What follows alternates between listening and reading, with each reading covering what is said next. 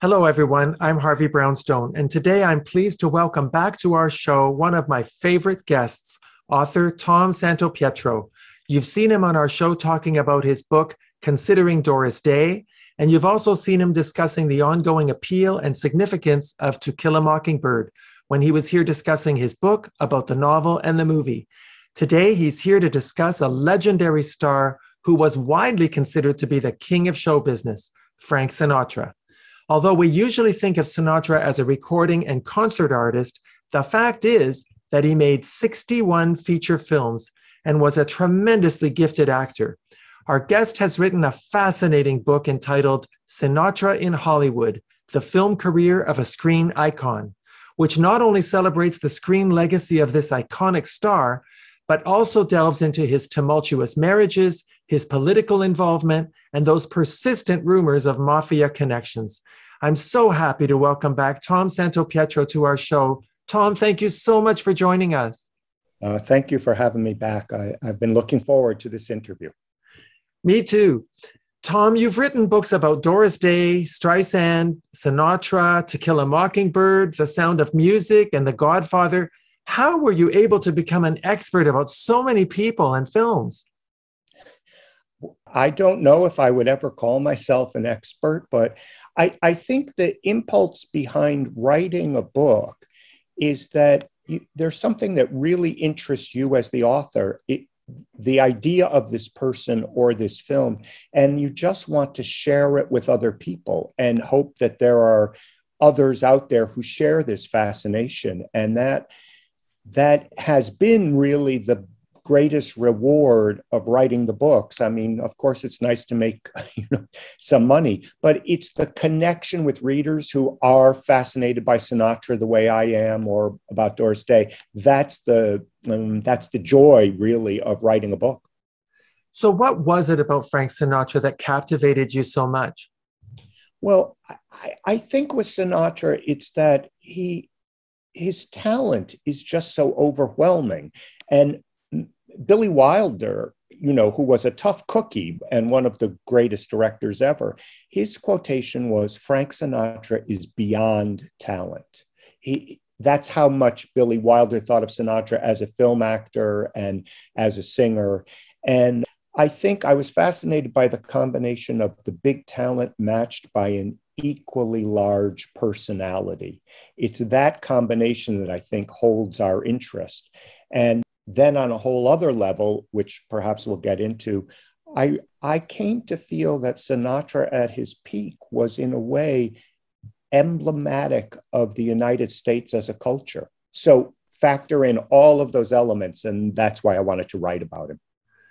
Well, it's interesting. You said that your analysis of Sinatra's early popularity in the movies is centered around the emerging middle class after World War II.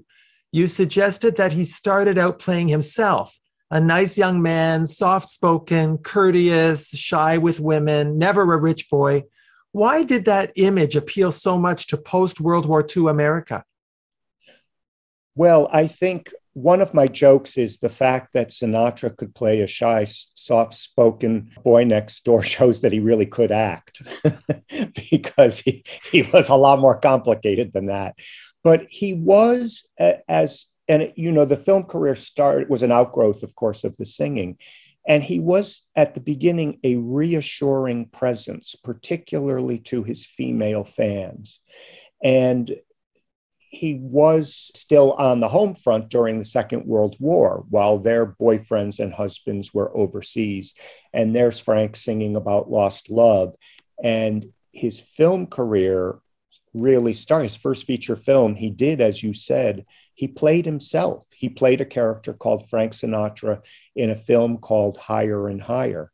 And he was it turned out fantastic on camera. You know what makes a star there are many many great actors but what makes a star is the camera has to love them. Yeah, and and so sinatra with his cheekbones and the blue eyes. He just registered on camera. You, with a real star, you're as an audience member, we all have the feeling of what's he thinking? What's what's going to happen next? What is going on in their brain?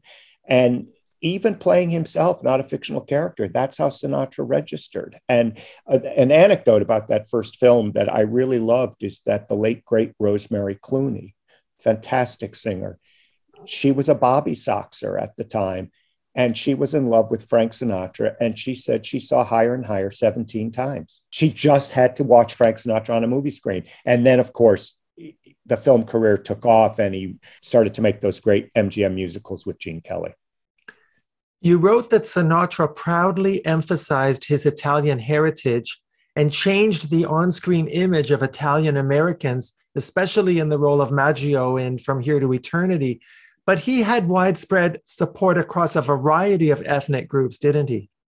He, he absolutely did. And I think that's one reason why he became such an important figure is that he started by changing the image of Italians on screen. And I'm half Italian, so I'm, you know, very aware or sensitive of those things. And, and on-screen image of Italian Americans was literally the organ grinder with a monkey.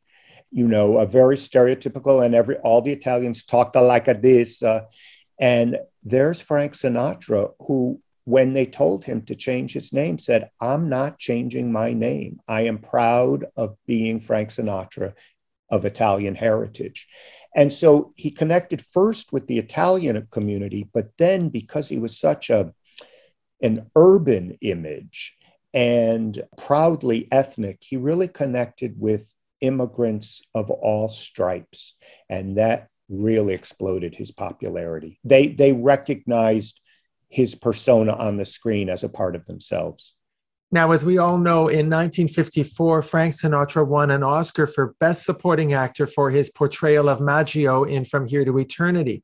That performance was widely considered to be the greatest comeback in motion picture history. But why did Sinatra fall into disfavor with movie audiences in the first place? I mean, in the mid 40s, he was the most popular film star in the world the rise, fall, and rise of Frank Sinatra is one of the all-time great show business stories.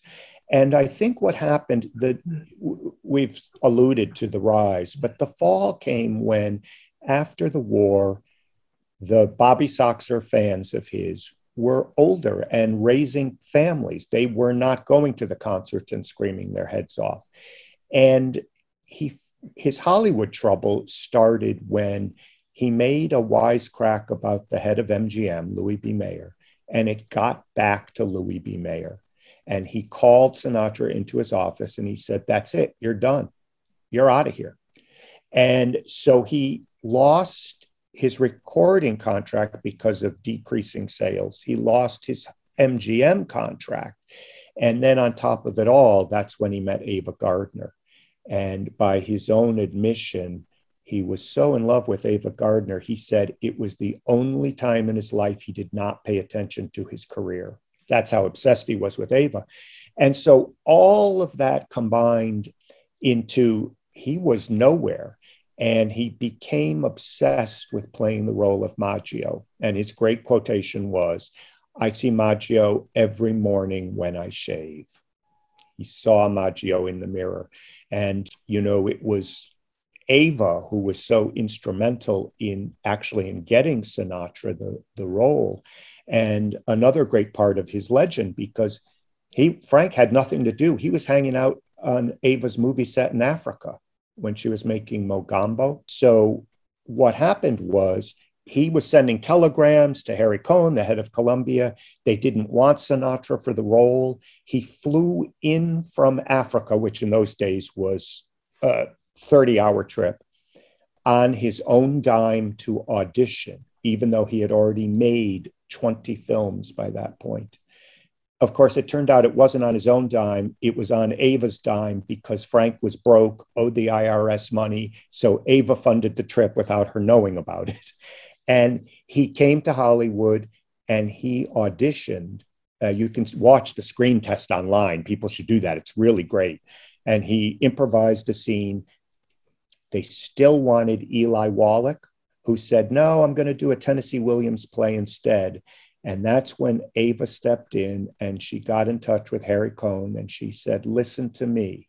Because Harry uh, Ava was the bigger star at the point.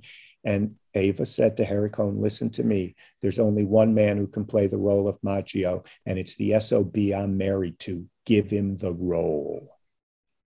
It, it's what made me fall in love with her. I mean, she was pretty great. And of course, he played the role, won the Oscar. And that, that was when he became Frank Sinatra, the superstar whom we all think about today. Oh, yes, absolutely. It is a remarkable story. Now, you ranked his best three movies as From Here to Eternity, The Manchurian Candidate, and The Man with the Golden Arm.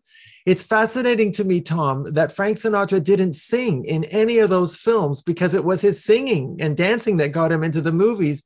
I just loved him in On the Town, for example. Right. Those great, I call them the sailor suit musicals with Gene Kelly, right? Take Me Out to the Ball Game, On the Town, Anchors Aweigh. They're just so filled with joy and sort of that 1940s technicolor exuberance. But Sinatra wanted, he didn't want to be pigeonholed, you know, as only in sailor suit musicals. And because he was so when he sang, he was acting those lyrics. So he, he had the dramatic actor in him right from the beginning. And it really comes out in those films you those three films you mentioned and you you see his performance as a drug addict in the man with the golden arm and you just think this guy's amazing he did the withdrawal scene in one take they just filmed it once one of the points i make in the book is that those were all at his peak, kind of the mid 50s to the early 60s.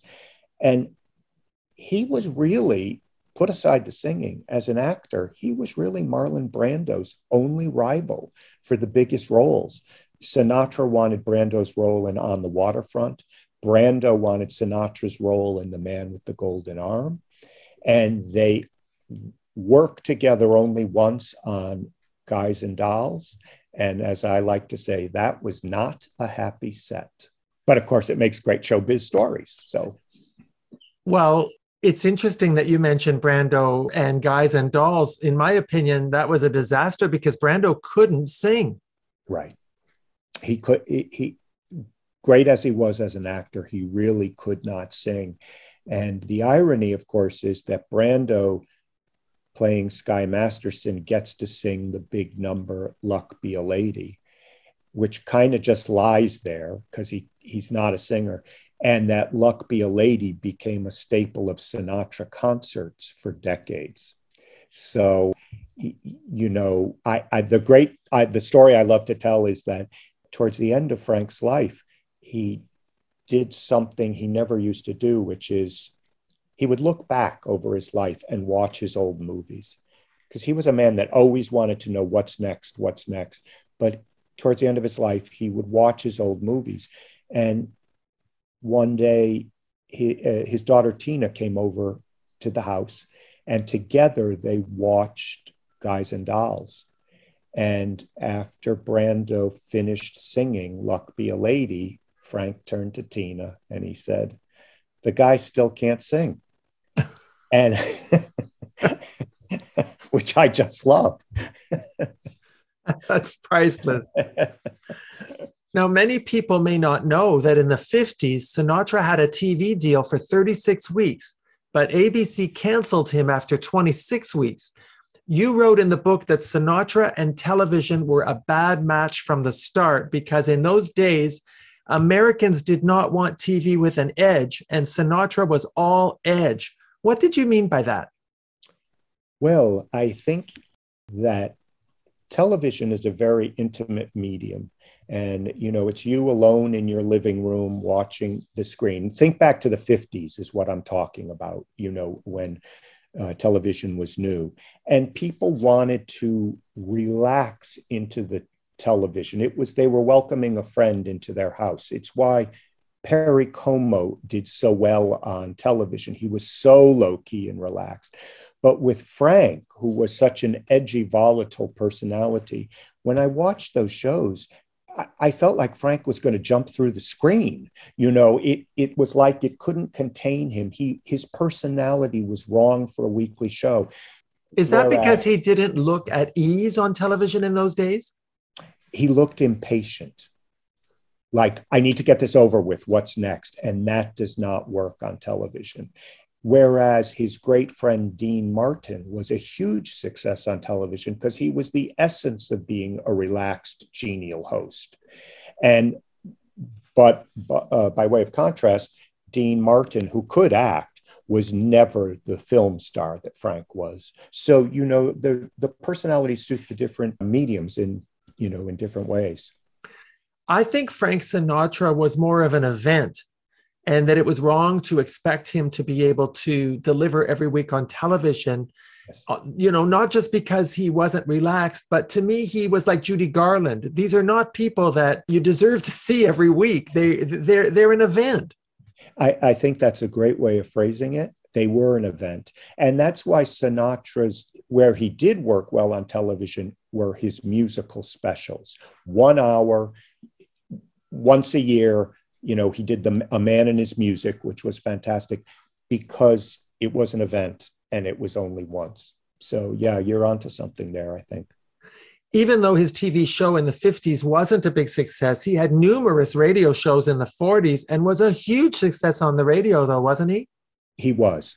He was a very big success. And that's because Frank would come in and just stand before the mic and sing you know it was what he loved doing. He didn't have to worry about the camera angles rehearsals. He was a very impatient guy. And so radio suited him that way very well. I love your analysis of the public's fascination with the rat pack.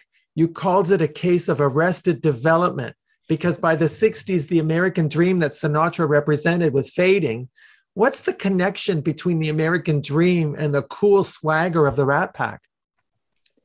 Well, I think the Rat Pack continues to fascinate because, it, it, one, as one commentator said, it's the Mount Rushmore of men having fun. It, it's a right. It's kind of a protracted adolescence they're playing. They're just having a great time which is what you do when you're 16 years old. You're not used to seeing it in 40 year old men. And i think people weighted down with their daily responsibilities of going to work raising the kids you know running the house paying the bills. They looked at frank and dean and they were like i want that. I want to be a kid with no responsibilities. And it was very interesting that decades later to refer again to our friend Rosemary Clooney, she, when her, George Clooney is Rosemary's nephew, and she was observing George and his pals. This is long before George settles down with his wife, but he's an adult, and the pals, they're playing basketball in the driveway. And she said, They're the new version of the Rat Pack. Like, when are they going to grow up? So it, and, you know, we all have a little bit of envy of that when we don't feel like dealing with our everyday responsibilities. And there's Frank, you know, those guys, he slept, I don't know, three hours a, a day because they would sing all night in the in the nightclubs. And those times there were still you know midnight shows. And then they would carouse and then sleep for a couple of hours get up and fly in a helicopter to their film location. They never stopped well, did you like the Rat Pack movies? I thought they were silly. Well, I think they were. They started out well with Ocean's Eleven. That's just a fun movie, a caper movie. And there's a reason why George Clooney has made four of them because they're uh, either three or four, because the central idea is a lot of fun. But after that, yes, they degenerated into silliness and they weren't much. You know, you would get uh, a moment or two that was fun Uh, but that that was really it. The only other one that still has some entertainment value is Robin in the Seven Hoods. And that's just because to see Frank singing Chicago, my kind of town, I'll pay money to see that. But the other ones, yes, you're right. A lot of silliness in things like Sergeant's Three and no point. Now, Frank Sinatra won an Oscar for From Here to Eternity and was nominated for an Oscar for The Man with the Golden Arm and he won two Golden Globes for Pal Joey and From Here to Eternity, and a Golden Globe nomination for Come Blow Your Horn. and he won the Cecil B. DeMille Award and two BAFTA Award nominations. So he certainly got his share of accolades for acting. But do you think that he was generally underappreciated as an actor by the industry and by the critics? Oh, that's such an interesting question. I, I think people acknowledged his huge talent as an actor, but I think it was overshadowed by the incredible musical career. And I think that was one of the reasons I wanted to write the book. I thought, let's separate out Sinatra, the recording artist, and let's just look at the fact of it's one of the greatest legacies in Hollywood history. He probably made 10 or 12 really first rate movies. And his, I mean, there was a lot of junk, as there was for all stars of those days who work constantly. But that's a significant legacy. And his, his acting is, it's just so gut level instinctual with him that I think people have come to appreciate him as an actor more as the years have gone by. I do too. I was surprised to learn from your book that Sinatra's first choice to play the mother in The Manchurian Candidate was Lucille Ball, yeah. but Angela Lansbury got the part. So I want to ask you, Tom, do you think Lucy could have carried off that part as well as Angela Lansbury did?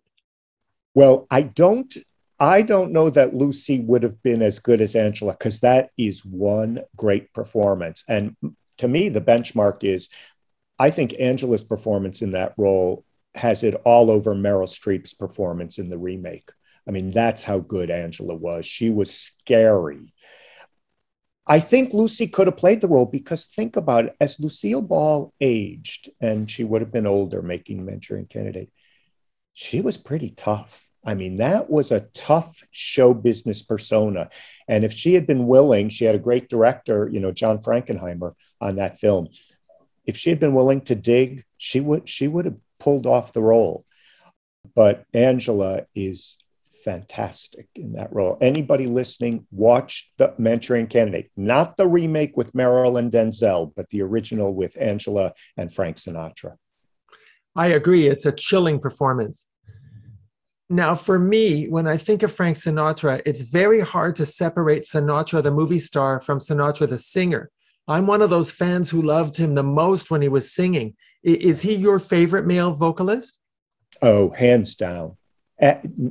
Unquestioned. I'm a, I'm kind of fanatical about him. You know, I I would say to you, this sounds like hyperbole, but it's true. Not a day goes by when at some point during the day or the night I li- don't listen to Frank Sinatra. Really? Yeah. That's how much as because what I mean, I just love the sound of it. But the great, great thing about Frank Sinatra when he's singing, I say in the book, he was not just singing to us, he was singing about us. He, his choice of songs and the way he could act out those lyrics, he was saying to us, this is what the journey through life is. There are going to be great moments and there are going to be obstacles that you can't believe have come your way. And it's a voice of understanding on this journey we all take together. And I think that's why he speaks to me uh, so directly. And then, you know, it, that what I'm talking about, of course, is all summed up in the song That's Life. That that sums up it all because we've all been up and down and over and round. And uh, when to have him you, you feel like they, uh, there's somebody who understands. That's somebody who gets it. And i think if i can just go on a little bit about that because it's one of my points in the book sinatra as a vocalist as an actor there is a duality about him that fascinates. And so, as a vocalist, you see, when Frank Sinatra, he made albums that I call his Technicolor albums that speak to our great joy in life. I've got the world on a string! exclamation point. Songs for swinging lovers! Exclamation point. So you feel great uh, in your life, and there's Frank singing about it. But the flip side of that is when Frank made what I call his film noir albums, Only the Lonely, In the Wee Small Hours of the Morning. And we all have those moments that I call the 2 a.m.s of the soul. When you things aren't going right, you feel alone. And there's Frank singing about that. So you get the two sides, just as in his film career, you had those great sailor suit musicals with Gene Kelly. But the flip side of those are it, The Man with the Golden Arm, right? And suddenly, where he plays a presidential assassin, the dark sides, and that's what had happened in the world. We were the world's good guy after World War II. We were going to make the world safe for democracy, everybody said. But the flip side of that was, of course, that the bomb existed and we could be blown into oblivion. And so that duality informs, I believe, both his singing and his acting. And it's why it still works so well today. My favorite Sinatra album is the Live at the Sands with Count Basie. Oh, it's fantastic. You have you're a man of great taste, Harvey. that's a, that's a great, great album. And I would only sum that up by saying in, in Vanity Fair magazine on uh, the back page, they have the Proust questionnaire where they take a celebrity and they ask all sorts of questions about if you came back, what in reincarnation, who would you be, and things like that. And one month, the per, the subject of the Proust questionnaire was the amazing Quincy Jones, and this man who has done everything as a musician and they said to Quincy Jones, When have you been happiest in your entire life? And his answer was, conducting the Count Basie Orchestra for Frank Sinatra in Las Vegas. Wow. Yeah. So you, you, that, that's my way of saying you picked a great recording as your favorite.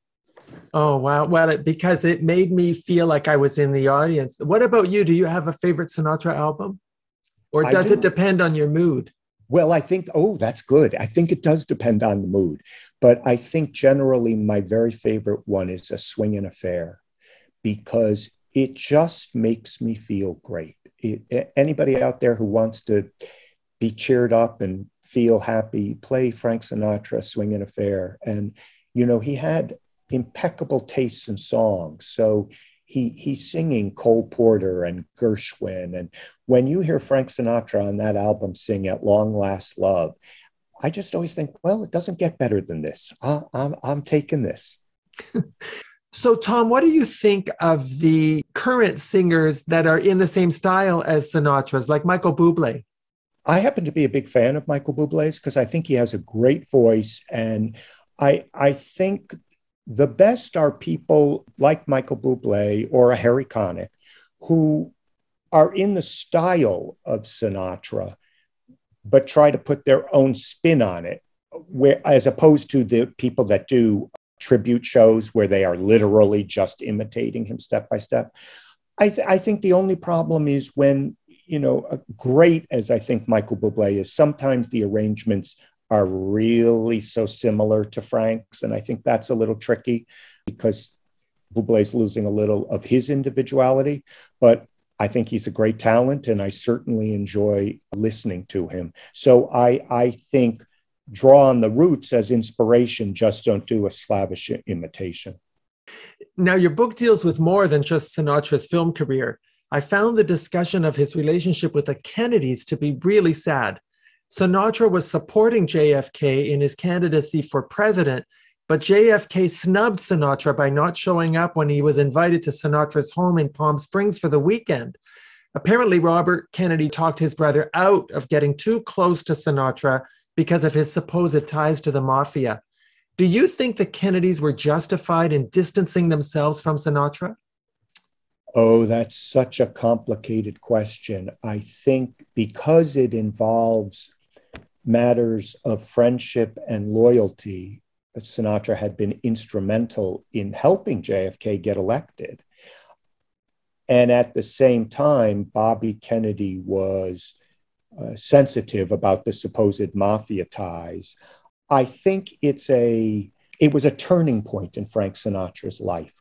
I think bec- it was a turning point because he felt that there had been a betrayal of friendship. And I think it really was the turning point in his turn to the right politically. Remember, when Frank Sinatra was young, he was an outspoken Democrat. His idol was Franklin Roosevelt our president. And by the end of Frank Sinatra's life, he was a very staunch Ronald Reagan conservative. And I think the Sinatra episode when uh, JFK did not go to Frank's house and instead went to the home of the conservative Republican Bing Crosby, that really was difficult for Frank Sinatra to accept. It was never the same after that. You wrote that Frank's public image changed from being the struggling outsider from Hoboken to a member of the privileged class after he became a staunch Republican. But it didn't hurt his popularity, did it? No, it's just people looked at Frank through a different prism with that knowledge of his personal life.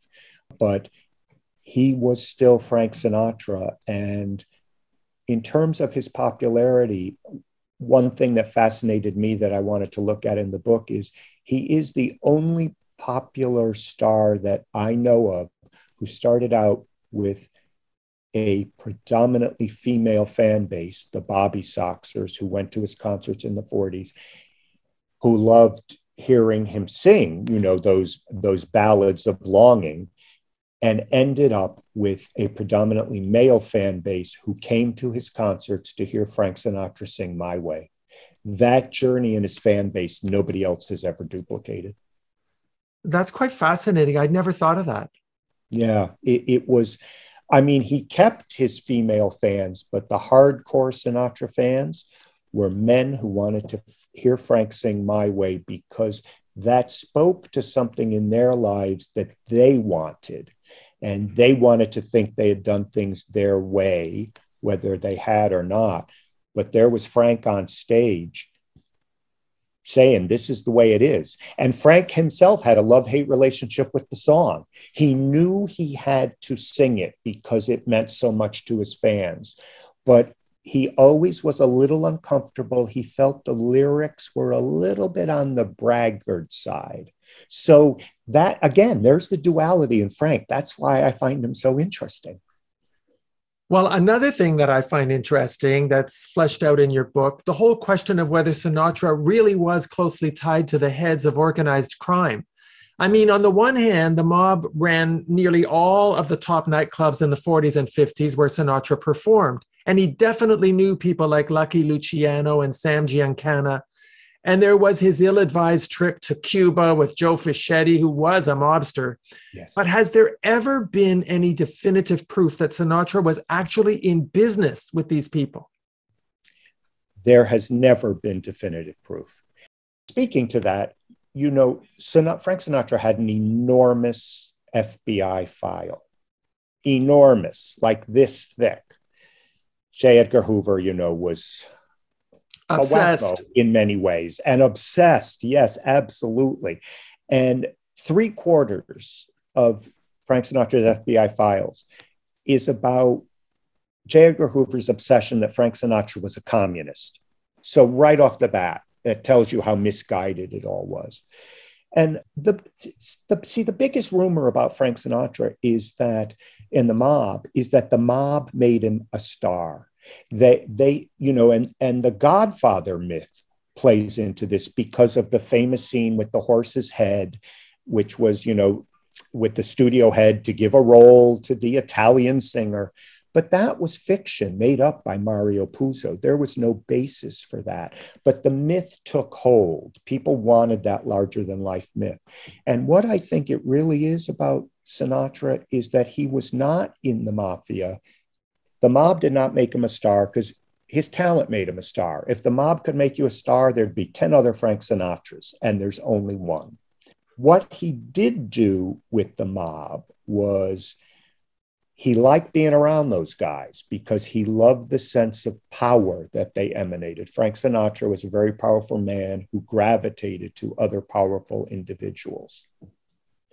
But at the same time, the mob really liked being around Frank Sinatra because there was this world famous singer and actor. They they wanted it was like they wanted his glamour to rub off on them. And to me, the one time where Frank was really involved with the mafia, and this goes back to the Kennedys and your previous question about why Frank felt so betrayed.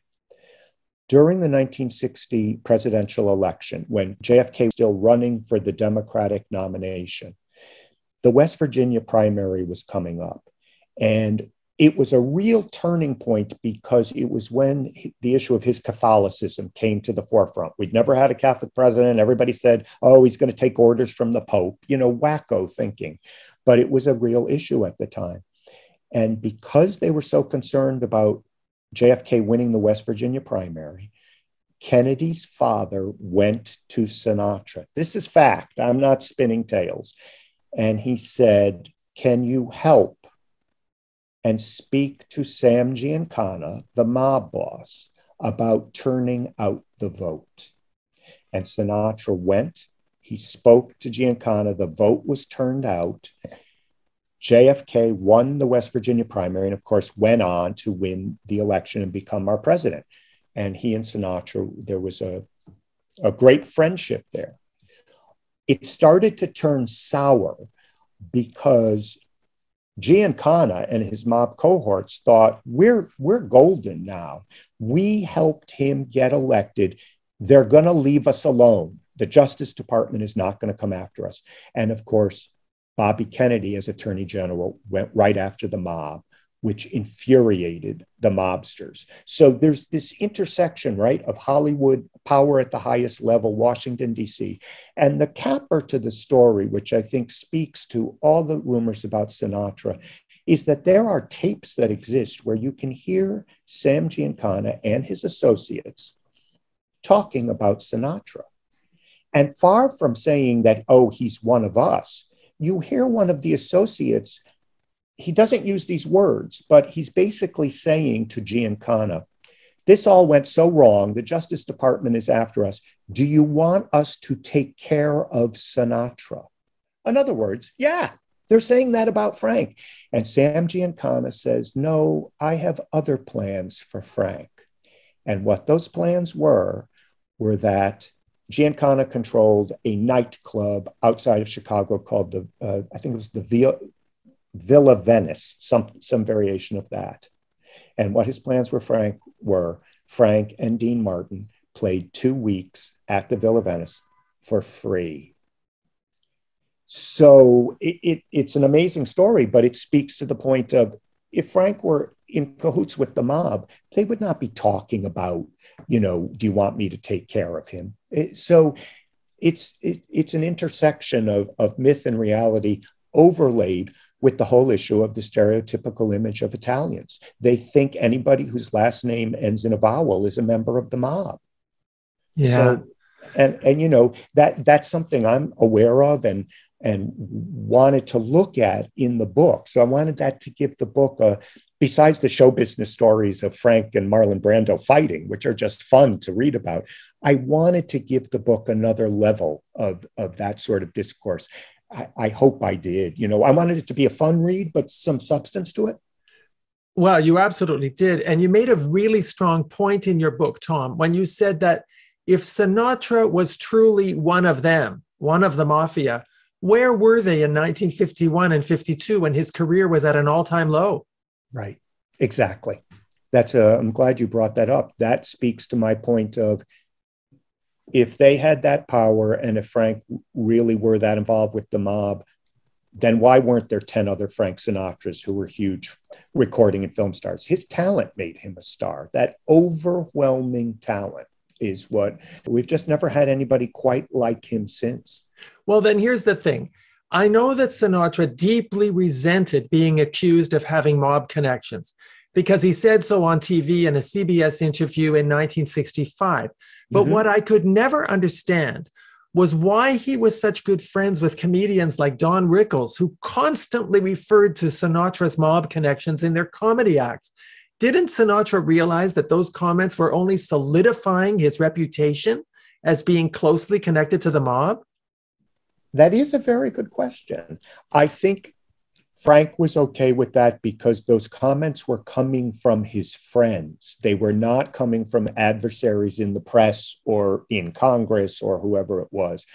And he knew they were joking with him. And I, I think on some level, he felt I actually think he felt that those sort of barbs in front of him when Frank would laugh about it punctured that image of Frank being in the mob. I, I think his hope was, oh, well, if they see me laughing at it, then, you know, they'll stop thinking there's substance. That, that's just my interpretation. I think it's why he was okay with it. I think if a stranger had done that at a public event, he, he would have been ballistic. But Don Rickles was a friend of his. I guess so. Uh, you talked about Sinatra's marriages in the book. He was one of the few Hollywood stars who remained friends with his ex wives, Nancy, Ava Gardner, Mia Farrow. That's very telling about his personality, isn't it? It, it, it is. It's I, I just find that incredibly interesting that he was clearly uh, involved with many women, you know, uh, but he was able to maintain his friendship with his ex-wife. So his first wife, Nancy, was the mother of his three children. So he wanted to maintain that relationship, and that that was a close relationship throughout his entire life. Ava, he left his first wife for Ava, and they are like characters out of an opera. Their emotions are so larger than life, and you know that's a case of they couldn't live with each other and they couldn't live without each other but the telling point is that when she became sick at the end of her life, Frank paid almost all of her hospital bills. And then he and Mia Farrow, even after they got divorced, they would speak so frequently, that constant communication. So that's interesting uh, that he he was not good at marriage, but he could be good at friendship. And I think Frank Sinatra is an example of somebody who was a better father than he was husband. Well, he married his last wife, Barbara Marx, in 1976. His daughter Tina said that finally Frank Sinatra had married his mother. What do you what a thing to say. What do you think she meant by that? I know that makes me laugh every time I hear it. I'm glad you brought that up. I think what she meant is that Frank's mother Dolly was a gregarious, very tough customer. And I think his last wife, Barbara, underneath, she was a beautiful woman. I interviewed her when her book came out, and she was, I would say, stunning, but she was tough. You know, she was a survivor. She knew what she needed to do to get along. So I think Tina was referring to that similar strain between the two. And the great, oh, there are two great comments about Frank's mother, Dolly. She deserves a book on her own. And the first thing is one commentator said, nobody ever told Frank Sinatra what to say or what to do except his mother. I can and, relate. Uh, right? I think that's universal. Uh, uh, that's all of us. And I think uh, the second really interesting comment came from Nancy Sinatra Jr. You know, these boots are made for walking. And she said about Frank, Frank's relationship with Dolly, she said, they loved each other so much and they squabbled every single day. I can relate. Yeah. So there you go. Well, see, yeah. It, it, and and that sort of complicated relationship, see, it fueled Frank. And that this, in, he not only had the talent, but you have to have the drive, right? The, hard, it, the hardest part is not making it, it's sustaining it after you make it. That's the hardest part.